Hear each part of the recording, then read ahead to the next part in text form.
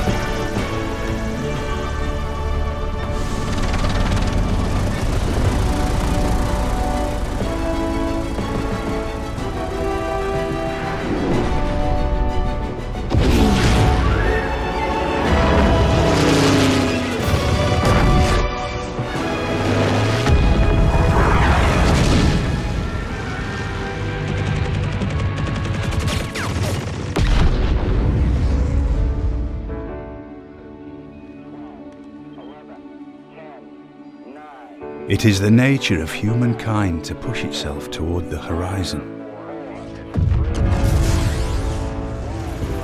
We test our limits.